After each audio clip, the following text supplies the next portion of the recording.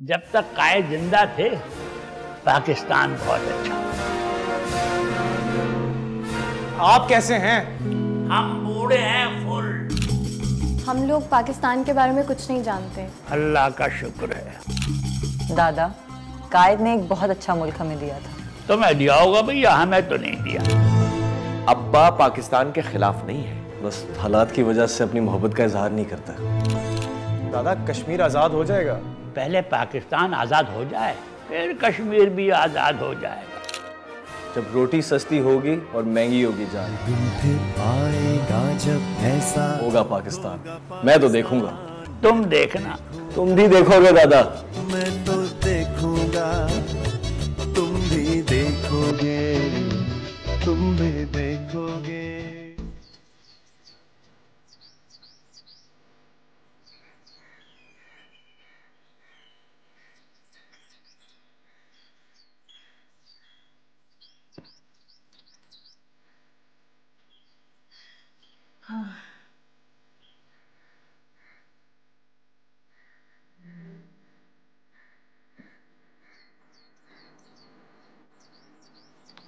सलाम अब्बा। जीती रहो चार साल अमेरिका में रहकर आई हो मगर वही सलाम अब्बा। तुम्हारे सलाम ने दिल खुश कर दिया। चार साल में आप नहीं बदले ये घर का माहौल नहीं बदला ये घर नहीं बदला तो फिर मैं कैसे बदल सकती हूँ? सारी रात दादा से बातें करती रही हो क्या कह रहे थे?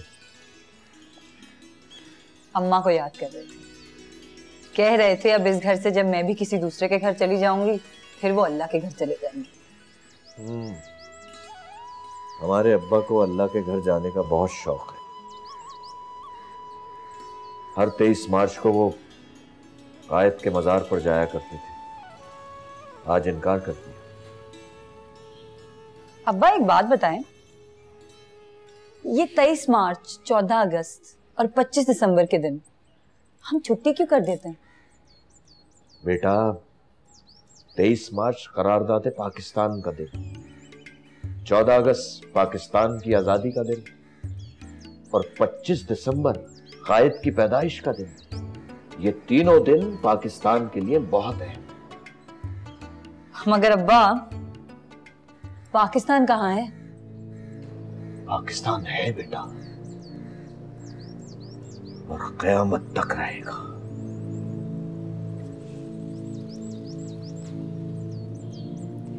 कयामत तो दो मरतबा आ चुकी है, अब्बा। वो भी एक ही दिन। 18 दिसंबर 1971 जब पाकिस्तान का माजी खत्म हो गया। मशरकी पाकिस्तान अलग हो गया। और फिर 18 दिसंबर 2014 जब पाकिस्तान का मुस्तकबिल खत्म हो गया। 150 पढ़ने वाले मासूम बच्चों को मार दिया गया। क्या कसूर था उन बच्चों का? कौन सी कयामत का इंतज़ार कर रहे हैं अब्बा आप?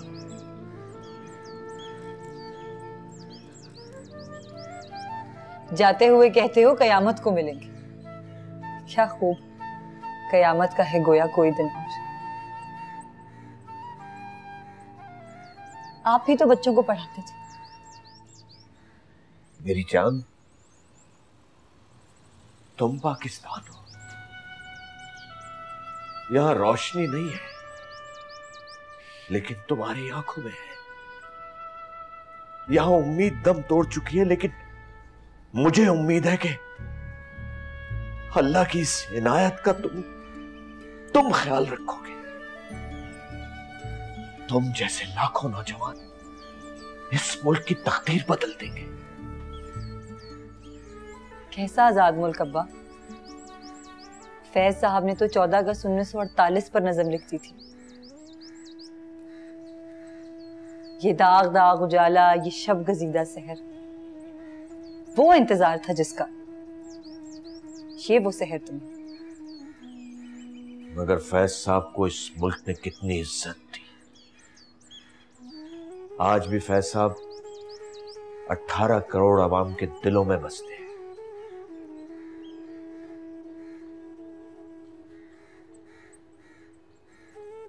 तुमने कोई फैसला किया?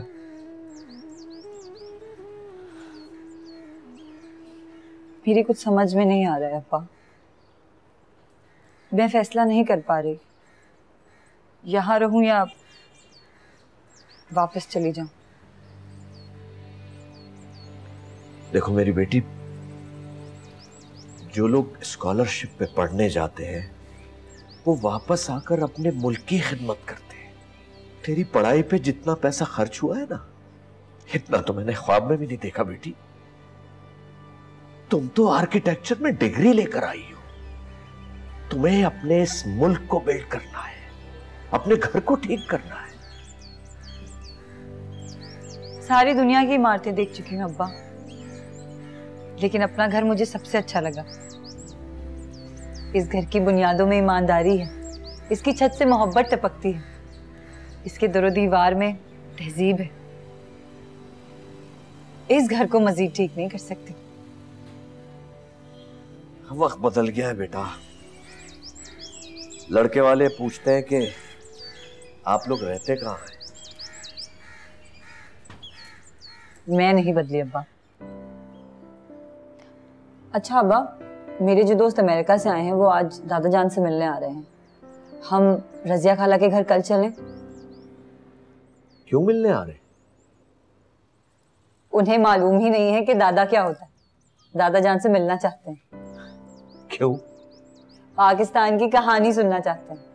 अच्छा भाई तुम्हारे दोस्तों के लिए कुछ खाने पीने को लाऊं? नहीं नहीं दादा ले आए। क्या? मुझे नहीं पता। कह रहे थे टी पार्टी मेरी तरफ़ से बहुत मज़ा आएगा। तुम्हारे दोस्त उर्दू समझ लेंगे? हाँ आपस में वहाँ हम लोग उर्दू में ही बात किया करते थे। वो आज प्रिंसिपल साहब ने पुराने पढ़ाने वालों को तेईस मार्च के सिलसिले में स्कूल बुलाया है। मैंने आज पाकिस्तान का झंडा ऊँचा करना है। क्यों? किसी ने नीचा कर दिया क्या? कैसी बातें करती हो बेटा? मैं बस दो ढाई घंटे में वापस आ जाऊँगा। अपना ख्याल रखना। जी खुदा हाफिज। खुदा हाफिज।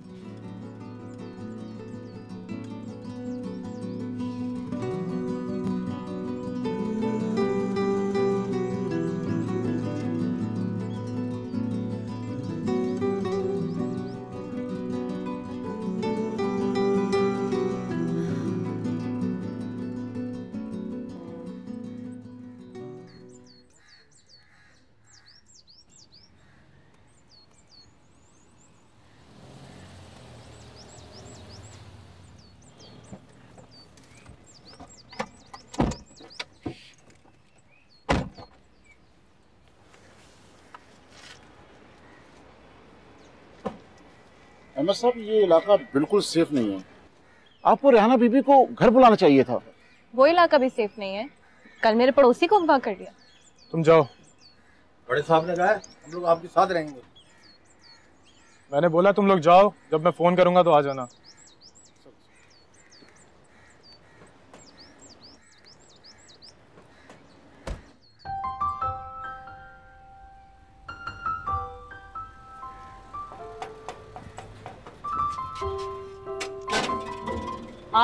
अंदर आ जाओ। देखे सर बचा के। मिल गया घर आसानी से? अहमद कहेगा कि वो हर मुश्किल को आसान समझता है तो। बस घर मिल गया और हमें क्या चाहिए था? अंदर आओ अंदर आओ। नाइस हाउस हाँ मेरे लिए काफ़ी अच्छा है। आर्ट फ़िल्मों में इसी तरह के घर होते हैं? हाँ लेकिन ये सिर्फ़ घर ही है। अच्छा तुम लोग मेरी एक बात सुनो। दादा जान ऊँचा सुनते हैं। तो जरा ज़ोर से बात करना ठीक है?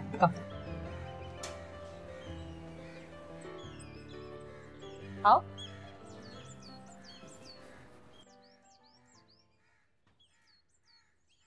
दादा जान ये है अहमद और ये है रूही मेरी दोस्त। भाई हमारे तो सब दोस्त मर गए। एक अहमद हुसैन ज़िंदा थे वो भी चारों जुए गधा गाड़ी के नीचे आ गए दोनों गधे उन पर से गुजर गए बिन घी के डिब्बे। दादाजान अस्सलाम वालेकुम तुम आहिस्ता नहीं कह सकती। वो अ, रेहाना ने कहा था कि आप बहरे हैं। क्या कहा था? कुछ नहीं कुछ नहीं। अस्सलाम वालेकुम। जीती रहो जीती रहो। बैठो। दादा जान आप कैसे हैं? हम बूढ़े हैं फुल। आप फुल बूढ़े तो नहीं लगते? हमें अपनी आँखों का टेस्ट करवाओ। ये दोनों क्यों आए हैं? दादा जान ये दोनों आपसे पाकिस्तान की कहानी सुनने आए हैं। ईरान की सुन लो। नहीं पाकिस्तान की। भूटान की सुन लो। नहीं पाकिस्तान की। हम लोग पाकिस्तान के बारे में कुछ नहीं जानते। अल्लाह का शुक्र है। मीर तकी मीर। मीर तकी मीर नहीं कायदे आज़म से शुरू करें। अहमद टेप कर लो। रूही मीर तकी मीर एक शायर थे गालिब से पहले। आप बताएँ दादा जान मीर तकी मीर के बारे में क्या कह रहे थे? भाई मीर तकी मीर का शेर है। मेरे किस्से से सबकी नींदें गईं। कुछ अजब तौर की कहानी थी। अच्छा छोड़ो। तुम आ, सवाल पूछो मैं जवाब दूँगा। दादा जान तेईस मार्च के बारे में बताएँ।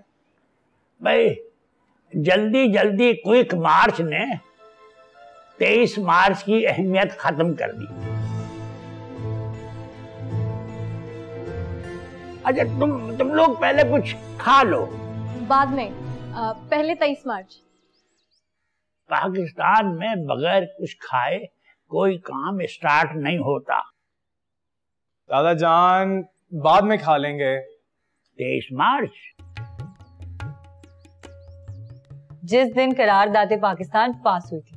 पाकिस्तान की तारीख में सिर्फ़ एक चीज़ पास हुई थी करारदादे पाकिस्तान। उसके बाद से आज तक हर चीज़ फेल हाँ दादू। दादू अभी तुम कहोगी नवाब शाह। सॉरी दादा तेईस मार्च। भाई ए, पहले तुम तीन लिखो फिर दो लिखो उसके आगे लिखो मार्च। ये है तेईस मार्च। दादा मज़ाक मत करें। ये बताएँ तेईस मार्च 1940 के दिन क्या हुआ था?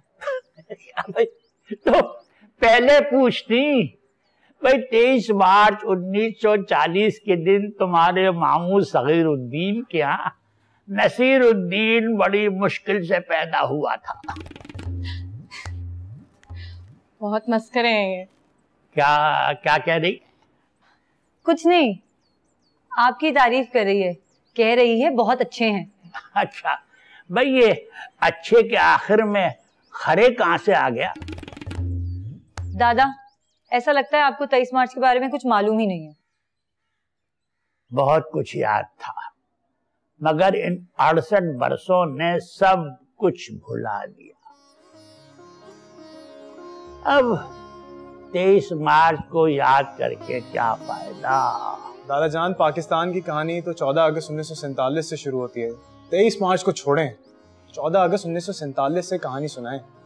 भाई 14 अगस्त 1947 में से अगर 23 मार्च 1940 निकाल दो तो ये कहानी शुरू हो ही नहीं सकती। जिस इंसान ने करारदादे पाकिस्तान पेश की थी, उसका ताल्लुक अब दूसरे मुल्क से है, यानी बांग्लादेश। और जिस इंसान ने ये करारदाद पेश की थी उसका नाम था मौलवी फजलुल हक। मौलवी फजल हक ने करार दादे पाकिस्तान क्यों पेश की? भाई वो उनके पास दो ऑप्शन थे। या तो वो करारदादे पाकिस्तान पेश करते कायदे आज़म को या बंगाली रसगुल्ले। चूँकि कायदे आज़म को रसगुल्ले पसंद नहीं थे इसलिए उन्होंने करारदादे पाकिस्तान पेश कर दी दादा जान क्या हो गया है? पाकिस्तान को? नहीं आपको। अहमद और रूही आपकी बातें रिकॉर्ड कर रहे हैं। थोड़ी देर के लिए संजीदा हो जाएँ। अच्छा छोड़ें दादा जान आप ये बताएँ आपको कभी किसी से मोहब्बत हुई?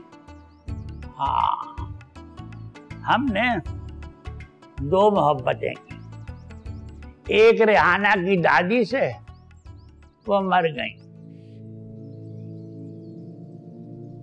दूसरी पाकिस्तान से। वो भी। आप अब्बा के सामने ऐसी कोई बात करेंगे ना तो फिर लेक्चर सुनने के लिए तैयार हो जाए क्या है तुम्हारे अब्बा के पास? मैं हूँ आप ये घर है। हाँ तुम हो। हम और ये घर तो किसी दिन भी बैठे बैठे गिर जाएँगे। दादा रेहाना इस घर को कभी गिरने नहीं देगी। ये एक अच्छी आर्किटेक्ट है। और मैं आपको नहीं गिरने दूँगी क्योंकि मैं डॉक्टर हूँ। भाई मेरा ख्याल ये है कि पहले तुम लोग कुछ खा लो। सुनो वो टी पार्टी का सामान वहाँ मेज पे रखा है। जाओ। जी मैं लाती हूँ।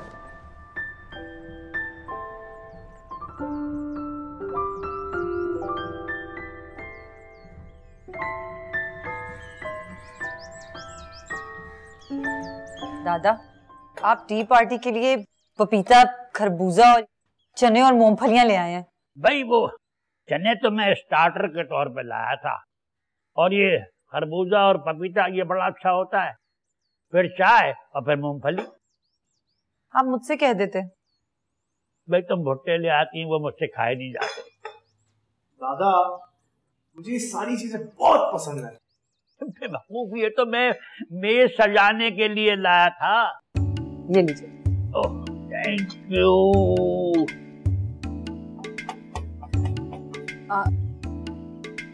ये तुम ही मैं आती हूँ।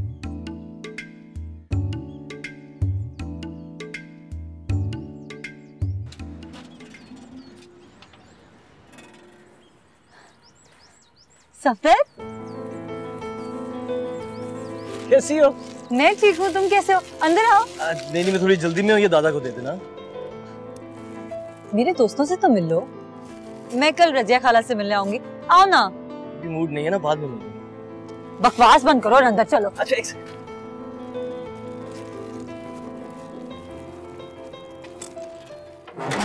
मैं तो देखूँगा तुम भी देखोगे। आओ। अहमद ये है सफ्तर मेरा कज़न मेरी खाला का बेटा। और ये है रूही हेलो दादा। वालेकुम अस्सलाम। मियाँ मैं तो परेशान हो गया था कहीं भूल तो नहीं गए। वो हाँ कितना बिल हुआ? क्यों हफ़्ते में चार दिन आके आपको बर्गर देता हूँ कभी पैसे लिए आपसे? गिफ्ट अलग चीज़ है ऑर्डर अलग चीज़ है। बैठो सफ्तर नहीं मुझे देर हो रही है। बैठो ना। मैं रोही हूँ रेहाना की दोस्त और डॉक्टर। मैं एक फास्ट फ़ूड चेन में डिलीवरी बॉय हूँ। लोगों का ऑर्डर किया हुआ खाना घर पहुँचाता हूँ। फ़र्स्ट डिवीज़न में बीए पास किया है। ये है पाकिस्तान की कहानी। अगर सिफारिश होती तो किसी बैंक वगैरह में नौकरी मिल जाती। आज तेईस मार्च है। तुम्हारी छुट्टी नहीं है? छुट्टी थी लेकिन दादा का ऑर्डर था। ना तो बस ठीक है। अब यहीं बैठो। दादा जान पाकिस्तान की कहानी सुना रहे हैं। इसका एंड ना तो दादा को मालूम है ना ही अठारह करोड़ लोगों को। ऐसा सवाल पूछने का क्या फ़ायदा? जिसकी इब्तदा इतनी अच्छी हो उसकी इंतहा कैसे खराब हो सकती है? पाकिस्तान ख्वाब नहीं एक हकीकत। है वालेकुम अब्बा। अब्बा ये है अहमद और ये है रूही। मैं रेहाना का वालिद हूँ। एक तहजीब बच्चों को शुरू से सिखाई जाती है। ठीक है अब्बा ये अमेरिका से आए बैठो बैठो। तुम लोगों से बैठ के भी बात हो सकती बैठ जाओ बेटा। हाँ ये बताओ कि दादा की दावत कैसी रही? अच्छी रही। सफ्तर का शुक्रिया अदा करना पड़ेगा। ऑर्डर दादा का था शुक्रिया दादा का अदा करें। आज स्कूल में झंडा ऊँचा करते वक्त कायद बहुत याद आए। कौन? कायद अल्ताफ हुसैन? नहीं मैं पाकिस्तान के कायद मोहम्मद अली जिना की बात वो एक्चुअली वहाँ जो पाकिस्तानी चैनल आते हैं वहाँ पे तो कायद अल्ताफ हुसैन के बारे में ही बताते हैं। नहीं बेटा वो एक सियासी पार्टी के कायद हैं। मैं तो कायद आज़म यानी जिन्होंने पाकिस्तान बनाया था उनकी बात कर रहा क्यों बनाया था? दादा ने नहीं बताया? दादा को पाकिस्तान की तारीख का कोई आइडिया नहीं है। सिर्फ़ मज़ाक ही अच्छा कर लेते हैं। या जिस मुल्क का जोग्राफिया बदल गया हो उसकी तारीख सुनने का क्या फ़ायदा? क्या मतलब? इकहत्तर में मशरकी पाकिस्तान यानी ईस्ट पाकिस्तान बांग्लादेश बन गया। क्यों? क्योंकि पाकिस्तानी फौज को बंगाली नहीं आती थी। अब्बा पुरानी बातें तो मत करें। मुराद अली हिस्ट्री सिर्फ़ पुरानी होती है। दादा आपको पाकिस्तान के बारे में कोई अच्छी खबर नहीं मालूम? मालूम है मगर मैं इन बच्चों के सामने सुना नहीं सकता। सफदर तुम ही कुछ पाकिस्तान के बारे में बताओ। बहुत अच्छा मुल्क है बहुत अच्छे लोग हैं। बस लोगों की किस्मत खराब है। बीए में फ़र्स्ट डिवीज़न आई है लोगों के घरों पे बर्गर पहुंचाते हो। ये अच्छे पाकिस्तान की निशानी पर नहीं। आप मेरी मिसाल क्यों दे रहे हैं? रिहाना भी है अहमद और रूही भी बैठे हैं। ये भी पाकिस्तानी है। तुम लोगों की किस्मत क्यों खराब है? हमारी किस्मत क्यों खराब है? कोई अच्छा सरबरा नहीं मिला। ना मुल्क के लिए ना किसी कौमी अदारे के लिए। और इंशाल्लाह ना मिलेगा। एक दिन आएगा दादा जब रोटी सस्ती होगी और महँगी होगी जान। वो दिन भी आएगा जब ऐसा होगा पाकिस्तान। मैं तो देखूँगा। तुम देखना। तुम भी देखोगे दादा। मैं मुझे यहाँ से चाय की केतली साफ़ नज़र नहीं आ रही। पाकिस्तान क्या नज़र आएगा? अब्बा जब हम हिंदुस्तान से आए थे तो हमारे पास क्या था? हमारे घर के पीछे सहन में दो आम के दरख्त थे। एक जामन का पेड़ था आठ अमरूद के दरख्त थे और चालीस मुर्गियाँ थी। और आगे के सहन में? हिंदुस्तान में मुसलमानों ने कभी आगे नहीं देखा। बस पीछे देखकर हँसी खुशी ज़िंदगी गुजारते रहे। दादा कायद ने एक बहुत अच्छा मुल्क हमें दिया था। तो मैं दिया होगा भैया हमें तो नहीं दिया। अब्बा जब आप पानी के जहाज़ से कराची के साइल पे उतरे थे तो आप मुस्कुरा रहे थे। मुझे अच्छी तरह याद है। वो तो हम तुम्हारी अम्मा की बात पे मुस्कुरा रहे थे।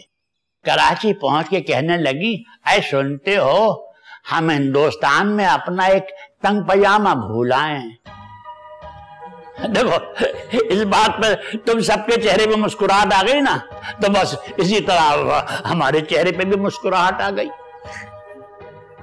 अहमद यहाँ तुम क्या कर रहे हो? हाँ जी मेरे अब्बा का बिज़नेस है और मेरा उस पैसे से कोई ताल्लुक नहीं है। मैं एक आर्किटेक्ट हूँ रिहाना की तरह। और रिहाना के साथ मिलके ऑफ़िस खोलेंगे।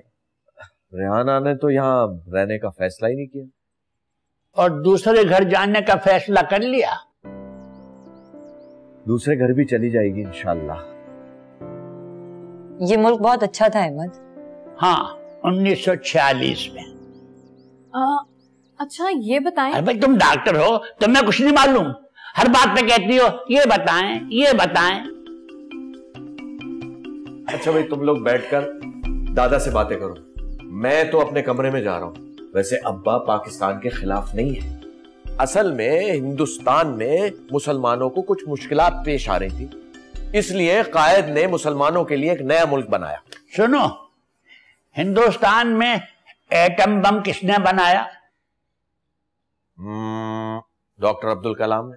मुसलमान। अच्छा ये बताओ ए, हिंदुस्तान का सबसे बड़ा सितार नवाज़ कौन है? वलायत खान। मुसलमान। अच्छा हिंदुस्तान का सबसे बड़ा सहाफी। एम जे अकबर हाँ, मुसलमान।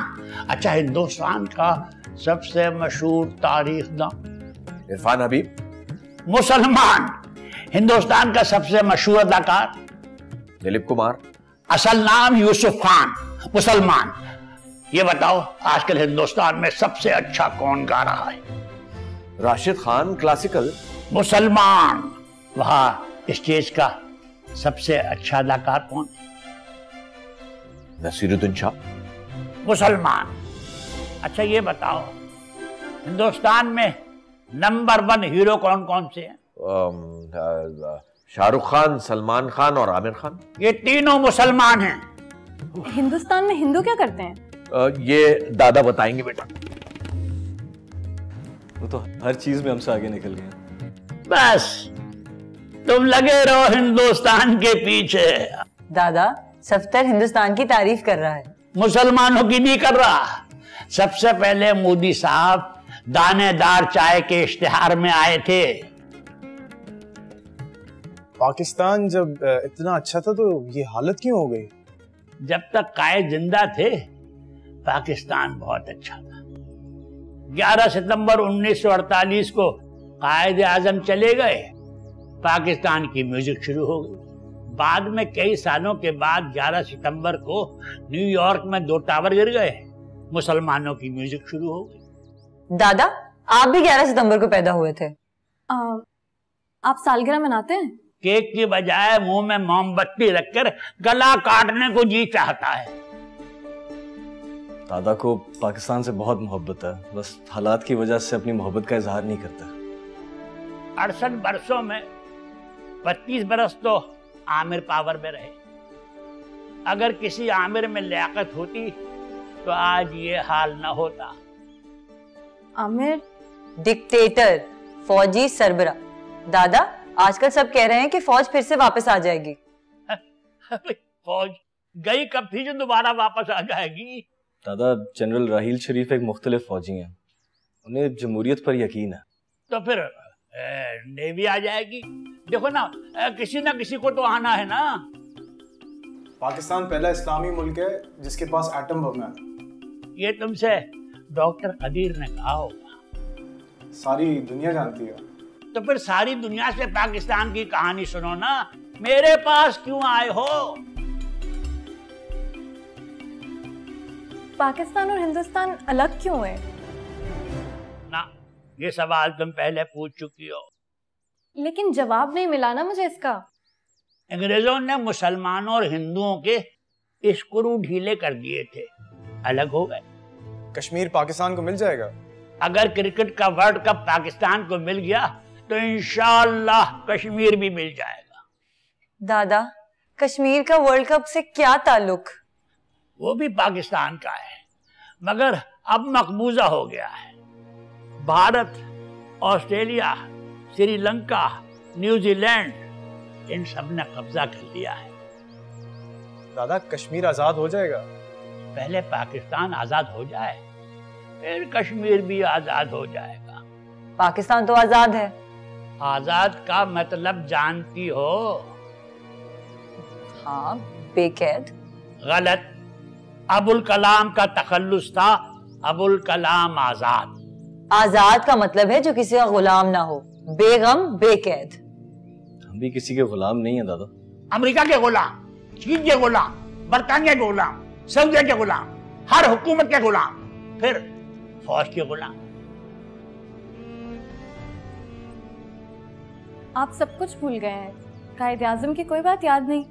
इतना तो मुझे याद है कुछ उसने कहा था। क्या उसने कहा था? ये मुझे याद नहीं। अरे आप कहाँ जा रहे हैं? आप बैठे हैं। आप चले जाएँगे तो टी पार्टी खत्म हो जाएगी। बैठ जाएँ दादा। दादा को पाकिस्तान के बारे में बहुत मालूम है। इन कहते हुए शर्माते हैं। सफदर ठीक कह रहा है। मेरे अब्बा भी मुझे शर्मिला टैगोर कह के बुलाते थे। आपके अब्बा के जमाने में शर्मिला टैगोर कहाँ से आ गई? भाई ये तो जाके अब्बा से ही पूछना पड़ेगा। आपके अब्बा हैं? सिवाय हज़रत ईसा के बगैर अब्बा के कोई पैदा नहीं हुआ। थे मर गए। कैसे? एक दिन हमारी अम्मा ने पूछा हामिद अली जमहूरियत को अंग्रेज़ी में क्या कहते हैं? बस जवाब नहीं दे सके। तकलीफ़ से मर गए। दादा आपके अब्बा को डेमोक्रेसी का मतलब नहीं मालूम था। यहाँ अठारह करोड़ लोग रहते हैं। किसी के बाप को डेमोक्रेसी का मतलब नहीं मालूम। यहाँ हर एक को विस्की के क्रेड का मतलब मालूम है। डेमोक्रेट का मतलब नहीं मालूम। यार मैं तुम दोनों से माफ़ी मांगती हूँ। दादा को वाकई कुछ नहीं मालूम। मैं समझती थी दादा पाकिस्तान के बारे में बहुत कुछ जानते हैं। तुम्हें शायद मालूम नहीं। कि पुराने जमाने में अरब भी घोड़े बेच बेच कर अपना घर चलाया करते थे। और वो सब भी मुसलमान थे। जी दादाजी मालूम है। तुम्हें किसने बताया? अमेरिका में एक डॉक्टर थे अरब और मुसलमान थे वो। उन्होंने बताया था। हम भी मुसलमान हैं। हमने भी, भी पिछले सेनेट के इलेक्शन में घोड़े बेचकर बहुत से सियासी उम्मीदवारों का घर चलाया। है दादा घोड़े? पाकिस्तान में घोड़ों की दो किस्में हैं। एक घोड़े एक भगोड़े। घोड़ा तो तीस हज़ार में मिल जाता है मगर भगोड़ा दस करोड़ में मिलता है। दादा आपकी बातें मेरी समझ नहीं आ रही दादा हॉर्स ट्रेडिंग की बात कर रहे हैं। हाँ कैदी हूँ और कफस को चमन जानता हूँ मैं। गुर्बत के गम कदे को वतन जानता हूँ मैं। अरे भाई जरा सुनो इसको जरा तेज करना इसकी आवाज़। हाँ ये खुदा हमसे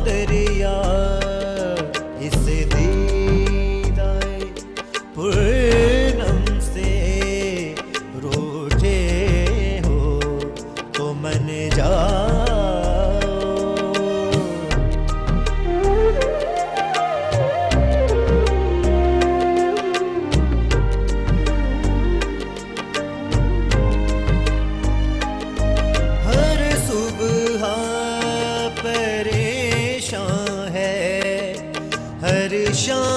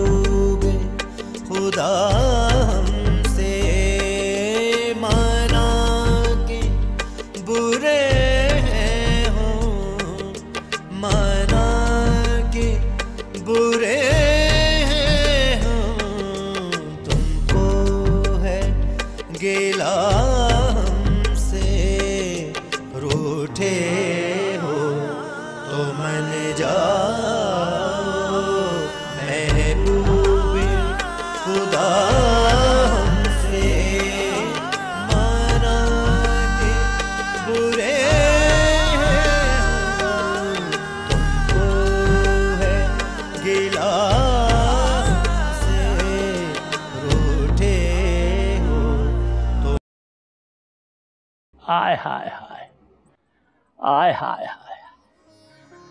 कायद ने ये मुल्क गरीबों और अमीरों दोनों के लिए बनाया था, मगर अब इसमें सिर्फ़ अमीर रह गए।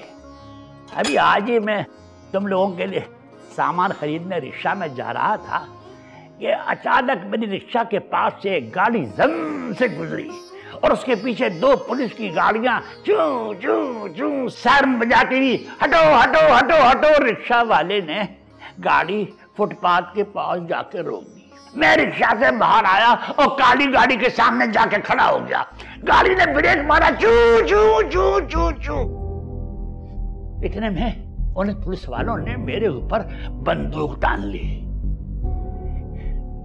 फिर काली गाड़ी में से एक साहब बोसकी का शलवार कमीज पहने हुए, वो खुद काले शीशों वाली काली गाड़ी से ज़्यादा काले थे। उससे कहने लगे, जनाब, क्या प्रॉब्लम है? और मुझे माँ बहन की गालियाँ देने लगे। मैंने कहा, जनाब, गालियाँ तो उन्हें दी जाती हैं, जिनके खानदान का पता होता है। मैं तो आपको ये गालियाँ भी नहीं दे सकता। फिर क्या हुआ? मेरी गाली उनके समझ में नहीं आई। लेकिन आपने उनको गाली तो नहीं दी? फिर क्या हुआ दादा?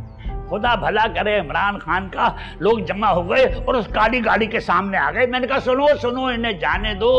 ये हुकूमत में है। हाँ अगर आइंदा इनकी गाड़ी के साथ पुलिस की गाड़ी साधन बजाए तो इन्हें गुद्दी पकड़ के उतार लो। व्हाट इज़ गुद्दी? A small portion between mind and chest. रूही गर्दन। दादा पुलिस वाले अगर आपको मार देते तो? मार दे। अरे इस मुल्क में दादा कब ज़िंदा रहते हैं? हम तो सिर्फ़ इसलिए ज़िंदा हैं कि रिहाना अपने घर की हो जाए। पुलिस वालों का क्या कसूर है दादा? इसमें उन बेचारों का कोई कसूर नहीं है। कसूर उन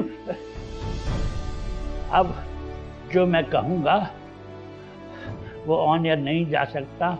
उसकी जगह टू टू टू टू की आवाज़ आ जाएगी। आप हमें बता दें।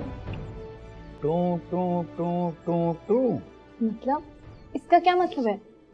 टू टू टू टू का मतलब है ये ऑन एयर नहीं जा सकता। Two to to.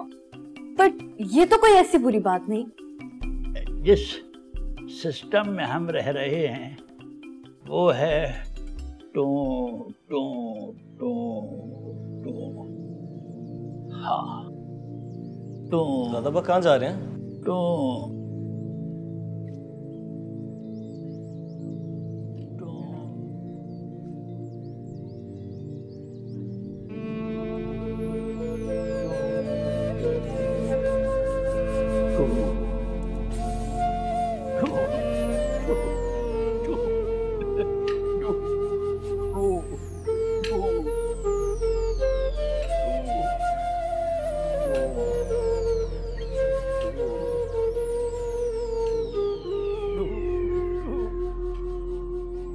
क्यों खड़े हो गए हो? दादा जान की वजह से आप जा रहे हो?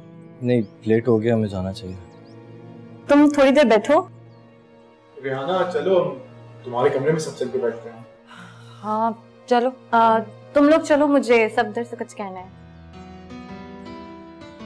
ओके आ जाओ। मैं बीमार नहीं हूँ डॉक्टर साहब। जब मुल्क बीमार हो तो सब बीमार होते हैं। मैं अपनी मुलाजमत से खुश हूँ। मुलाजमत कोई भी बुरी नहीं होती। अच्छी बात है तुम अपनी मुलाजमत से खुश हो। बीए में फ़र्स्ट डिवीज़न ली है। आई थिंक तुम्हें आगे पढ़ना चाहिए। पढ़ रहा हूँ क्या? एमबीए करना चाहता हूँ। और इंशाल्लाह एक दिन करूँगा। तुम्हें क्या पसंद है? मुझे तो सब कुछ ही पसंद है। बस सिफारिश से नफरत है।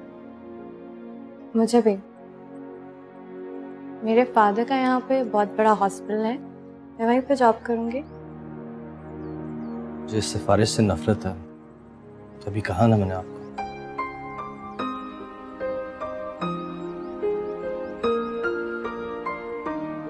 मोहब्बत और नफरत में बहुत थोड़ा सा फ़र्क होता है। समझा नहीं। कल मैं तुम्हारी शॉप पे आऊँगी बर्गर लेने। आप मुझे एड्रेस बता दें मैं पहुँचा दूँगा। हो सकता है कुछ अरसे में तुम्हारा और मेरा एड्रेस सेम हो। जोक जो तो तुम्हारे साथ इस ज़मीन में किया beef burger with cheese French fries garlic bread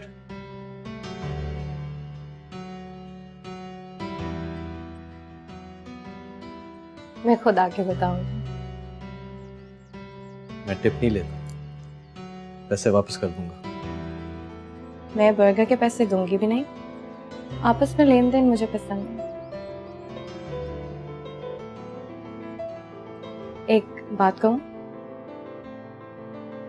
कहिए। जब तुम जैसे लोग इस मुल्क में रहते हैं तो ये मुल्क बड़ा कैसे हो सकता है? करारदाद के बारे में तो मुझे कुछ मालूम नहीं। लेकिन आज तुमसे एक अहद वफा करती हूँ।